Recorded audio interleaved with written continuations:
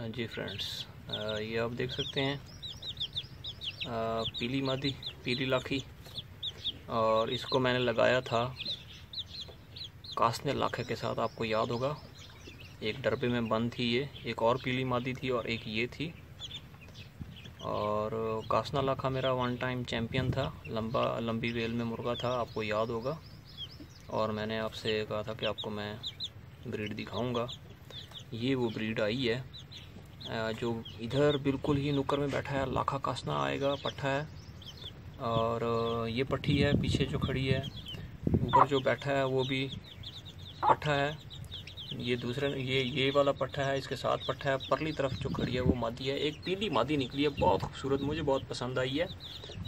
Golden colour में है वो परे जा रही है आएगी। आ, एक ये लाखी मादी निकली है ये देखें माँ के नीचे फिर रही है। ये मेल चीक है लाखा बनेगा। ये साथ में लाखा जावा सा बनेगा। और ये तो बिल्कुल लाखी मादी है ये, बिल्कुल माँ पे जाएगी। जो पानी पी रही है। बहुत खूबसूरत इनकी आँखें ग्रीन आइज़ में हैं अभी तो। और माँ इनकी देख लें, बहुत मज़बूत मुर्गी है, खूबसूरत, गहरी आँखें। और पीली नोक नली में है ये। मुर्गा बहुत अच्छा इनके साथ। कलर लेने के लिए आपको एक जैसे ही मैच करना पड़ेगा। अब वो मैं आपको बता रहा था, वो पट्टी मुझे बहुत पसंद है। थोड़ा सा मैं, वो गोल्डन जो जा रही है आगे आगे। बिल्कुल गोल्डन ये देखें आप, माशाल्लाह से बहुत ही खूबसूरत पट्टी आई है।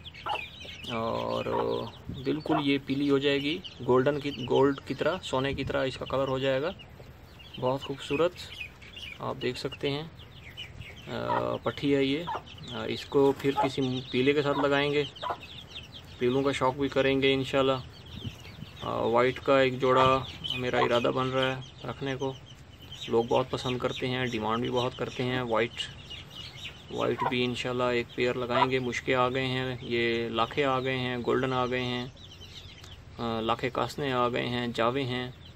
वाइट का एक पेयर लगाया था। अभी तक उसकी ब्रीड आई नहीं है। वो मैंने आपको दिखाया भी था।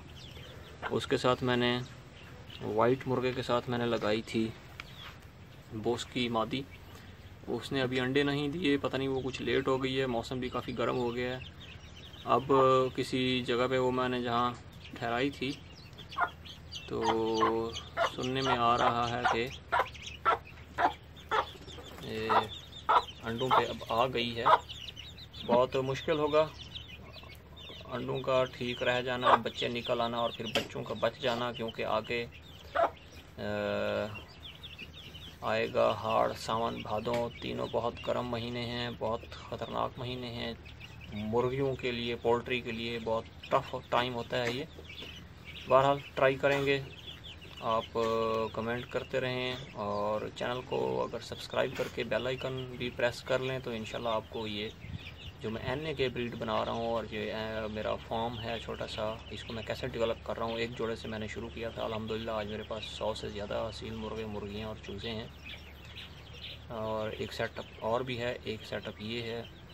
तो आप शौक को देखें कमेंट करें। थैंक यू अल्लाह हाफिज़